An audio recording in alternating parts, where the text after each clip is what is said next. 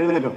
ജനഗണ മംഗളദായ ജയ ജനഗണ മംഗളദായ ജയ ഹേ.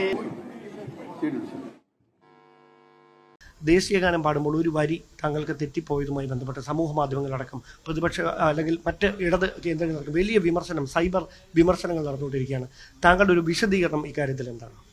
ഞാനതിനകത്ത് വിശീലനം കൊടുക്കാത്തത് ഞാൻ തിരുവനന്തപുരത്തെ എല്ലാ വേദികളിലും ദേശീയഗാനം ആലപിക്കുന്ന ആളാണ്. ഇന്ത്യയുടെ പ്രധാനമന്ത്രി Manmohan Singh കനകക്കുന്നിൽ I S R chairman award കൊടുക്കാൻ വന്ന ചടങ്ങ്.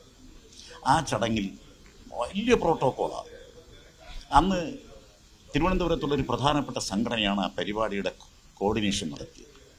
അവരെന്റെ പാർട്ടിക്കാരല്ല ആയിരുന്നില്ല. അന്ന് ഞങ്ങളുടെ ഘടകകക്ഷിയായിരുന്നു ഇപ്പം നമ്മുടെ ഘടകകക്ഷിയല്ല. അവരാണ് അത് കോർഡിനേറ്റ് ചെയ്തത്. അന്ന് ആ ഈ ആങ്കറിനോട് എഴുതി കൊടുത്തു ദേശീയ ഗാനം എഴുതി കൊടുത്തു പക്ഷേ അവരോട് അവിടെ നിന്ന് വന്ന എസ് പി ജിക്കാർ പറഞ്ഞു നോ വേണ്ട ചേച്ചി പക്ഷേ ഇത് ആ കുട്ടിയിൽ അറിയിക്കാൻ അനങ്ങാൻ സമ്മതിച്ചില്ല. ഈ ആങ്കറിന്റെ അടുത്ത് ഈ ദേശീയ ഗാനം വേണ്ട എന്ന് എസ് പി ജിക്കാർ പറഞ്ഞു ചടങ്ങ് തുടങ്ങി. ഞാനായിരുന്നു സ്വാഗതം. മുഖ്യമന്ത്രിമാർ മോഹൻലാൽ മറ്റേ തമിഴ്നാടൻ ശരത്ത് ഒരു വലിയ വേദിയാണ് അവസാനം ഈ കുട്ടിയങ്ങ് ദേശീയ ഗാനം അനൗൺസ് ചെയ്തു. പ്രധാനമന്ത്രി അടക്കം എഴുന്നേറ്റങ്ങ് നിന്നു. എല്ലാവരും? അവിടെ ദേശീയ ഗാനം അല്ല. ഞാൻ നേരെ ചെന്ന് ചെന്ന് ദേശീയ ഗാനം ചൊല്ലി നന്നായിട്ട് ആ ചടങ്ങ് അവസാനിപ്പിച്ചു. അവിടെ മാത്രമല്ല രാഹുൽ ഗാന്ധി വന്ന ചടങ്ങിൽ ഞാനായിരുന്നു ദേശീയ ഗാനം. എനിക്ക് ദേശീയ ഗാനം ആലപിക്കുന്നത് വളരെ അഭിമാനത്തോടെ അതിന് അങ്ങനൊരു അവസരം കിട്ടുന്നത് വളരെ അഭിമാനത്തോടെ കാണുന്നതാണ്. ഞാനിവിടെ അന്നത്തെ ഉണ്ടായ സംഭവം എന്ന് പറയുന്നത് ഞാനൊരു നാല് ദിവസം ഒരു മൂന്ന് മണിക്കൂർ പോലും ഉറങ്ങിയിട്ടില്ല. അന്ന് എന്നെ ശ്രദ്ധിച്ചിട്ടുള്ളവർക്കറിയാം. ഈ ആറ്റങ്ങലും നെടുമങ്ങാടും തിരുവനന്തപുരത്തും ഇത് മുഴുവൻ കോർഡിനേറ്റ് ചെയ്ത് ഡി സി പ്രസിഡന്റ് എന്നുള്ള നിലയിൽ ഞാനാണ്.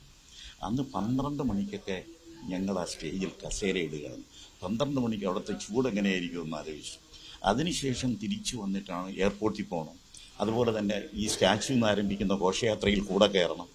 ഞാനന്ന് വളരെ പരിക്ഷീണനായിരുന്നു അവസാനം രാധ അവിടെ സമ്മേളനത്തിൽ കുറച്ചാളുകൾ ആയിരക്കണക്കിന് ആളുകൾ വന്നെങ്കിലും കെ പി സി പ്രസിഡന്റ് സംസാരിച്ചപ്പോൾ കുറച്ച് ആളുകൾ കുറവായിരുന്നു. അത് എനിക്കും പ്രയാസമുണ്ട്. അദ്ദേഹത്തിന്റെ പ്രസംഗവും കൂടെ വന്നപ്പോൾ എനിക്കും പ്രയാസമുണ്ട്.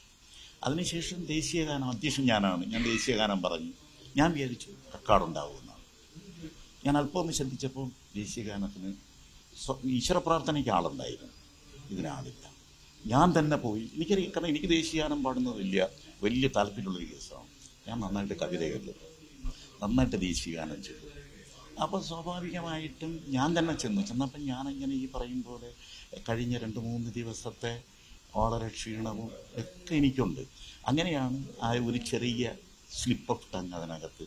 ചെറിയൊരു സ്ലിപ്പ് ഓഫ് ടങ് ഞാനത് കറക്റ്റ് ചെയ്തതിന് കറക്റ്റ് ചെയ്യുന്നതിന് മുമ്പ് റെക്കോർഡുണ്ട് റെക്കോർഡുണ്ടെന്ന് പറഞ്ഞു. അല്ല ഞാൻ അപ്പം തന്നെ ഇതിലെ നേതാക്കൾ ആരെങ്കിലും വിശദീകരണം വല്ലതും ചോദിച്ചു? ആരും ചോദിച്ചിട്ടില്ല എന്നോട്. അതൊരു സ്ലിപ്പ് ഓഫ് ടങ്ങാണ് എന്ന് അവർ അവിടെ ഇരുന്നവർക്കും അവിടെ കേട്ടവരും മാധ്യമ സുഹൃത്തുക്കൾക്കും ബോധ്യം വന്നതുകൊണ്ടാണ് മാധ്യമങ്ങളൊന്നും എന്നെ അതിൽ കുറ്റപ്പെടുത്തിയില്ല. ഒരു മാധ്യമവും എന്നെ കുറ്റപ്പെടുത്തിയില്ല.